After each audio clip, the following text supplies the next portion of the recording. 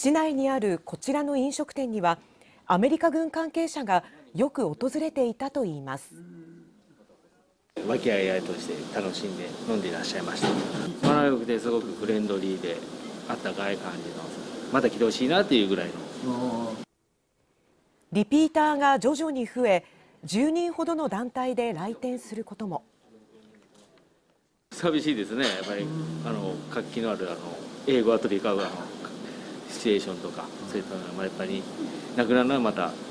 普段に戻るんですけど、まあ、あれも良かったなっていうのが印象です。スナックで働く人は？特に問題なく楽しそうに飲んでます。ただ言葉が伝わらない時があるので、団体さんで来られたりとかもあったので多分経済的にはこう良かったんじゃないかなとは思います MQ9 の運用が始まる前治安の悪化を心配する声が寄せられていたという商店街は。飲食に来られたり商店街にあの来られたりということで結構あの外人の方も見えられていましたんで心配されたような、まあ、その治安の悪さとかそういうのはまあなかったんじゃないかなというふうに思っております。ほぼ毎日アメリカ軍関係者が訪れていたという飲食店のオーナーは直接話をすることで印象が大きく変わったといいます。で一番驚いたのはこの鹿屋の過去の悲しい歴史のことも全部勉強してくださった上でここにお入りいただいてそのお話ももちろん触れましたし平和についてもお話をされることもよくありましたよ。飲食店関係者などから好意的な意見が聞かれた一方町の人からはアメリカ軍関係者の撤収に安堵する声も聞かれました。撤退というかされたんで安心はしてますね。原因をやっぱはっきりさせてもらいたかったですね。はい。ちょっとまあ心配は心配でしたね。来た時点からですね。はい。日本のまあ安全のためやむを得んからですね夜間飛ぶ時あったけどあんま大してそう思うなかったし。鹿屋市が MQ9 の受け入れを表明したのは去年7月でした。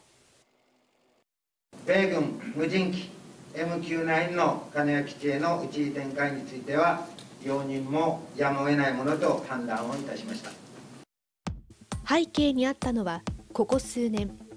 九州から沖縄台湾へと連なる南西諸島周辺で活動を活発化させている中国の存在。日米両政府の狙いは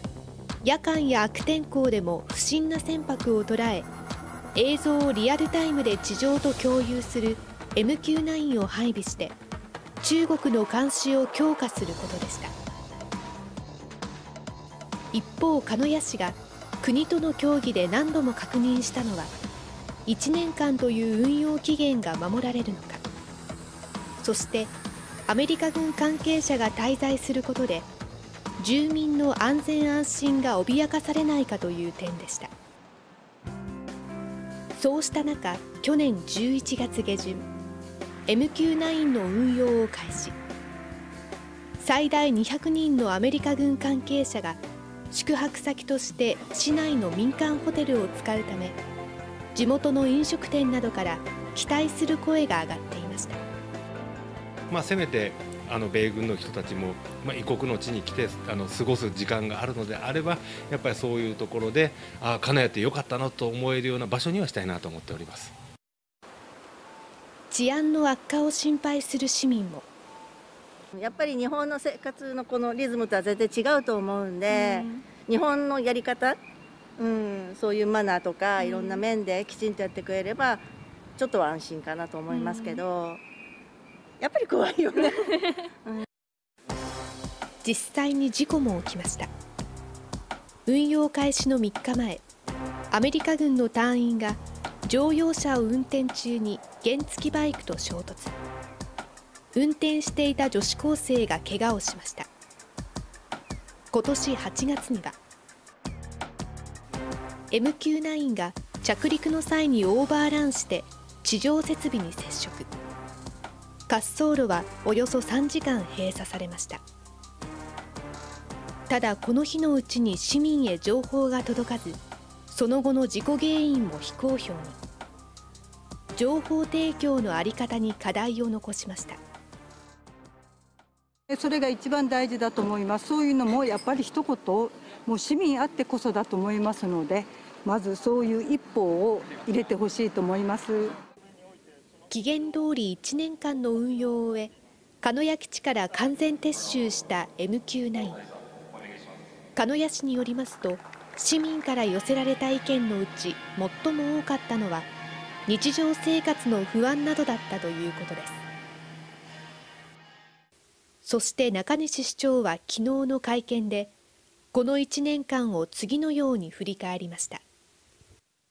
こうして協定が守られたということにおきまして率直な気持ちほっとしているところであります。この基地のある町としてあのこの金谷基地がまあ、あの今後どういう形でですね運用されていくのか変容していくのか、まあ、今回のこれを一つの契機にしてですねどのような形になっていくという